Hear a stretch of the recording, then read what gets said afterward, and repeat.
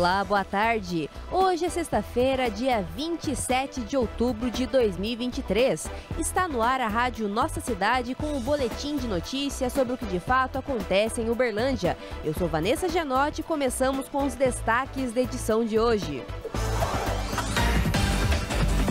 Rádio Nossa Cidade.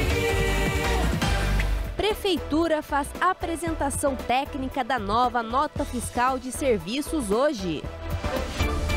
Dia D da campanha de multivacinação é amanhã. E ainda, distribuição de medicamentos à população na zona rural tem adequações. Essas e outras notícias a partir de agora na rádio Nossa Cidade. Vem com a gente.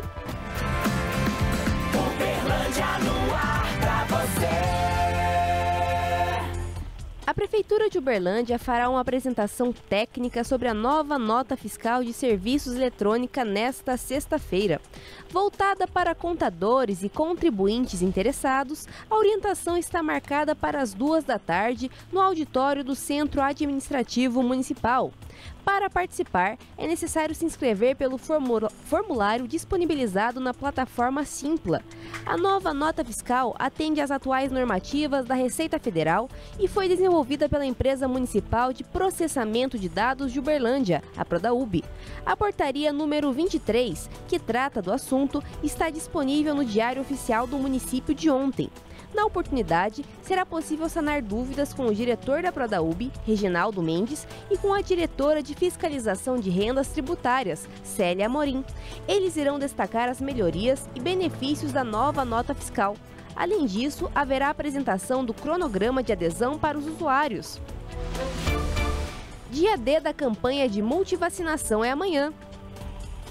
A Prefeitura de Uberlândia continua trabalhando para ampliar a proteção e garantir mais saúde à população. Com esse objetivo, o Programa Municipal de Imunização realiza neste sábado o dia D da campanha de multivacinação para crianças e adolescentes. Para a mobilização, as doses estarão disponíveis das 8 da manhã às 5 da tarde nas 74 salas de vacina, localizadas em unidades básicas de saúde, as UBS, unidades básicas de saúde da família, as UBSFs e ambulatórios das unidades de atendimento integrado, as UAIs.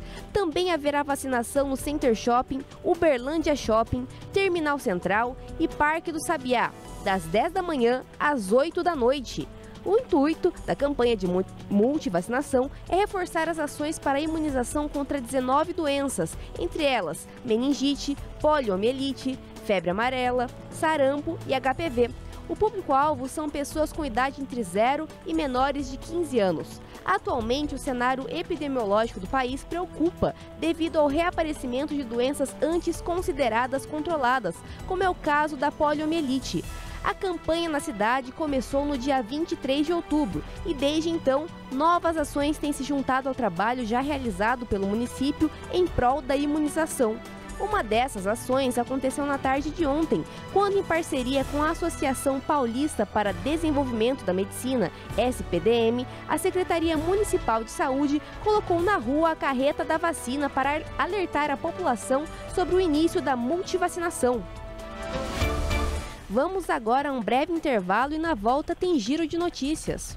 Essa é a capa de chuva da Ana, mas ela também é uma capa de invisibilidade. Às vezes a Ana não aparece na escola, ela falta aula por não ter absorvente. Por isso, a prefeitura lançou o programa Cuidado Íntimo, que promove a saúde menstrual a alunas da rede municipal. O Berlândia tá enorme, mas cuidar das nossas meninas deixa nosso coração bem grandão. Giro de notícias. A Secretaria Municipal de Saúde informa que a partir do dia 1 de novembro, o modelo de dispensação de medicamentos à população nas unidades de saúde da zona rural de Uberlândia, exceto a UBSF Tapuirama, passará por adequações. O serviço será realizado de forma itinerante, com assistência ocorrendo em escalas diferentes, a depender da unidade e com a presença de farmacêutico para repassar orientações adequadas aos pacientes. A medida será adotada como forma de otimizar, em prol da comunidade, as diretrizes de controle, segurança e orientação no processo de distribuição dos remédios.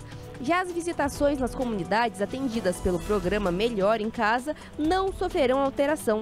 Por fim, a secretaria reforça que para a solicitação de medicamentos nas unidades por parte dos cidadãos é necessário apresentar documento de identificação com foto e prescrição médica atualizada. Confira a lista completa das unidades e suas alterações no portal da prefeitura. A 11ª edição das Olimpíadas do Idoso teve encerramento ontem com competição e muita festa para as quase mil pessoas que compareceram ao estádio Ayrton Borges. Realizada pela Prefeitura de Uberlândia, a competição terminou com premiações em medalhas e troféus para os três melhores em cada modalidade. A abertura foi seguida de atividades físicas e de socialização, juramento olímpico com acendimento da pira e apresentações das fanfarras e grupo de dança do ventre nos Centros Educacionais de Assistência Integrada ao Idoso, os CEAIS. As seletivas tiveram início no mês de setembro para os idosos frequentadores dos quatro CEAIS mantidos pela Prefeitura: Laranjeiras, Luizote de Freitas, Guarani e Rondon Pacheco. As modalidades que compõem o torneio são dama, dominó, truco, sinuca, tênis de mesa, bocha, boliche, arremesso livre, o basquete e chute a gol.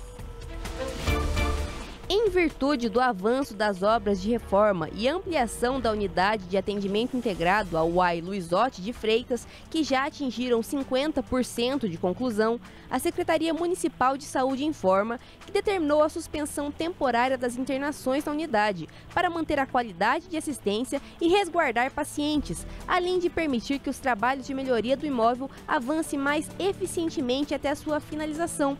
Na prática, o pronto atendimento da UAI Luizotti continuará funcionando normalmente, mas os pacientes que procurarem a unidade e necessitarem de internação serão encaminhados pela central de ambulâncias da Prefeitura para outros pontos da rede de saúde da cidade. Demais UAIs, Hospital Municipal e Anexo, Centro de Internação Pediátrico, Centro de Internação Municipal e HC-UFO. A pasta esclarece ainda que aqueles que estavam previamente internados na unidade já estão sendo adequadamente transferidos. De notícias. A edição de hoje da Rádio Nossa Cidade fica por aqui. Obrigada pela sua audiência. A edição foi minha, Vanessa Gianotti. Tradução em Libras, Amanda Valentim. Responsável técnico, Cristiano Silva.